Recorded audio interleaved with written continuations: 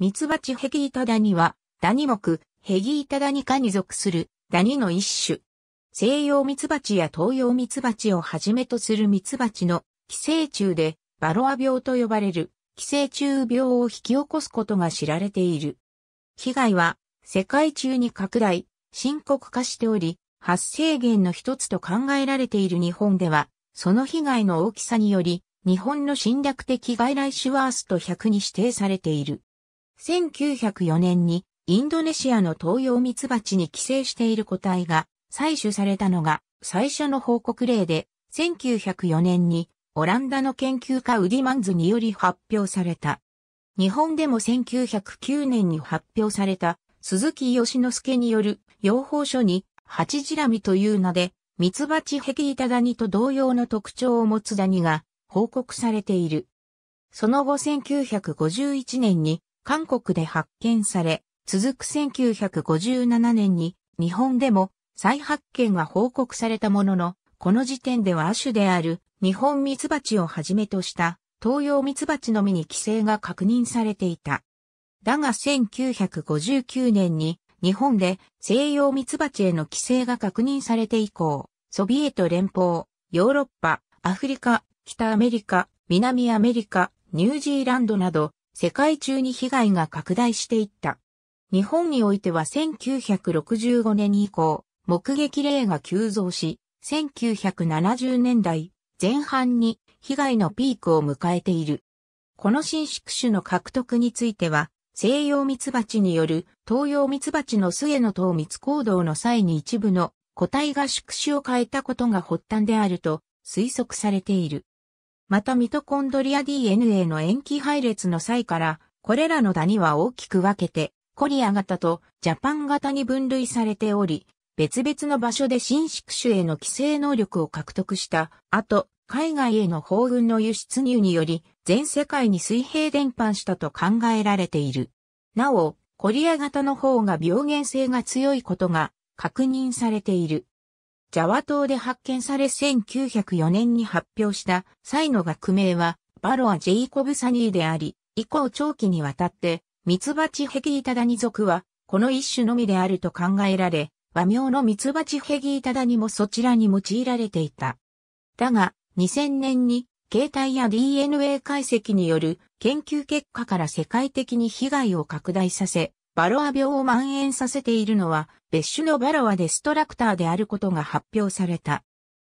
これに伴い、中村、吉田は日本で確認されているのは V デストラクターのみであることや和名がすでに普及している現状を踏まえて V デストラクターの和名をミツバチヘギイタダニとし V ジェイコブサニーはジャワミツバチヘギイタダニという和名へ変更することを提唱している。なお、2018年現在オーストラリアにおいては、ミツバチヘキイタダニは、メルボルン港などの貿易港に輸入されたミツバチへの感染例のみが報告されている一方、クイーンズランド州北部において、ジャワミツバチヘギイタダニの定着が確認されている。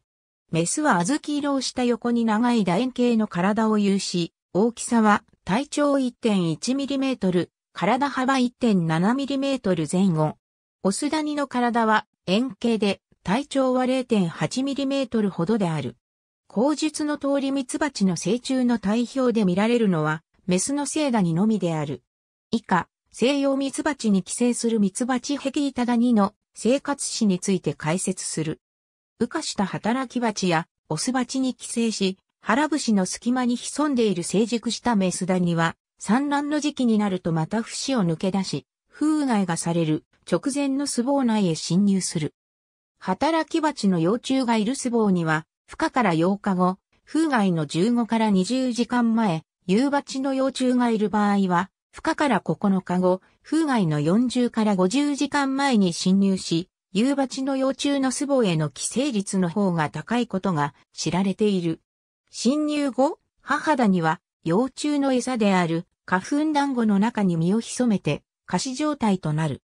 その後花粉団子を幼虫が食べ終え、風害が行われ、巣房内に閉鎖環境が生まれた頃に活動を再開し、幼虫が前さなぎになった段階でその腹部に穴を開け体液を吸い始める。それ以降およそ30時間間隔で母ダニは、計5から6個の卵を産み続ける。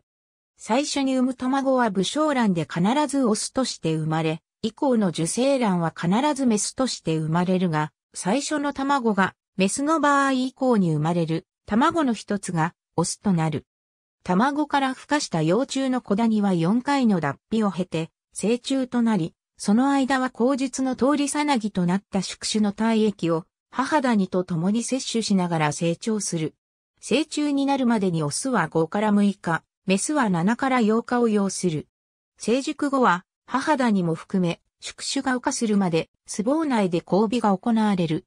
その後、羽化する宿主の体表に取り付く形で母ダニや成熟したメスの子ダニも出亡し、屋外での寄生生活を始める。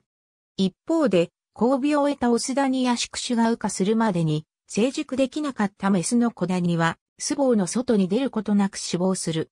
産卵経験がある母ダニは、失望後4から5日後、産卵経験がないメスダニは10から11日後に、再度巣房に入り、産卵行動を始める。年中温暖な地域や夏場での寿命は2ヶ月と考えられており、その間何度も産卵を行う。そのため一匹のメスが産卵を始めれば何も対策を取らない場合1年後には1000匹にも数を増やし5万匹のミツバチのコロニーを全滅させると考えられている。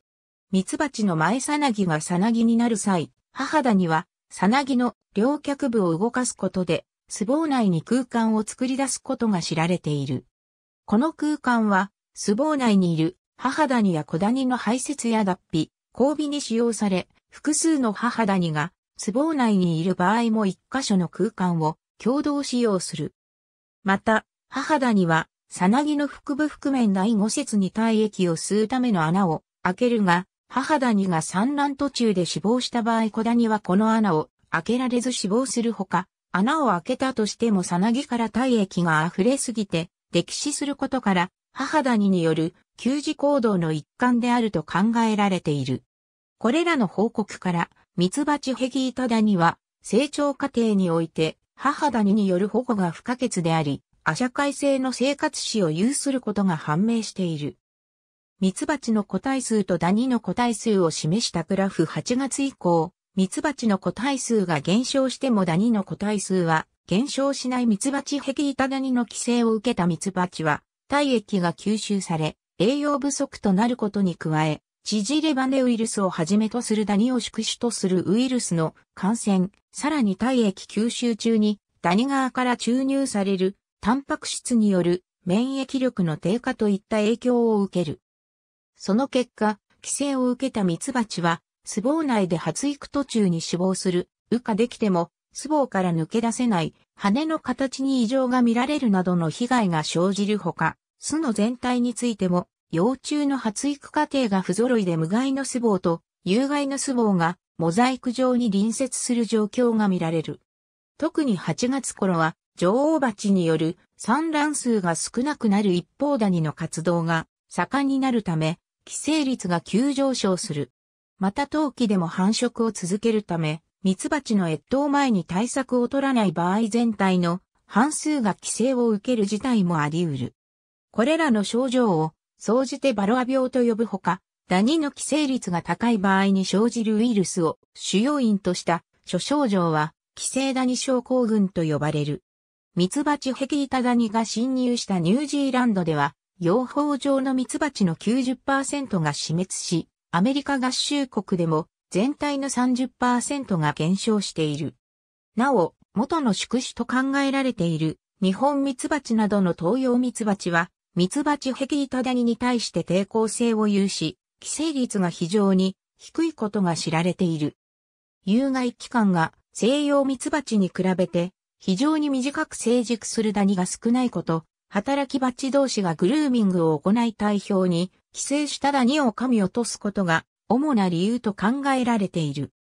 物理的にミツバチヘキイタダニを除去する方法として、オスバチ巣房専用の巣巣を用意し、風害された巣房を定期的に取り出し冷凍して、ダニを殺す方法、巣箱に粉糖を振りかけると、鉢の表面からダニが落下する性質を利用し、ワセリンなどの粘性ボードを巣箱の下に設置して落下したダニを集める方法などが存在する。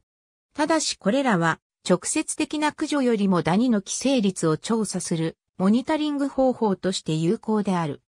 また、モニタリング方法としては、蒸気のほか、ガラス瓶内に働き蜂を集めて、奮闘化70%以上のアルコール、もしくはエンジン主導液を入れた後、蓋を閉めて一定時間瓶を振り、蜂の体表から離れたダニを検出する方法が提唱されている。駆除剤については、今日養蜂場が開発したダニコロパーに始まり、アピスタン、アピバールなどが開発され一定の成果を上げているものの長期間の使用により、ミツバチヘギータダニがこれらの薬剤に対する耐性を身につけていること、一部の薬剤については蜂蜜への残留が懸念されていることから、近年は、偽酸やシュウ酸、チモールをはじめとする天然成分を由来とした駆除剤が開発されている。ただしこれらの駆除剤も過剰な摂取は、ミツバチの活動を害するほか、化学合成、天然由来問わず風害が行われた、巣房内部にいるダニには、効果がないため、ダニの生態や駆除剤の利点、欠点を認識した上での使用が必要となる。蒸気の対策とは別に、アメリカやヨーロッパの西洋ミツバチの中に、ミツバチヘキイタダニに寄生されたサナギを検知し、除去するという抵抗性を獲得した事例が報告されている。ありがとうございます。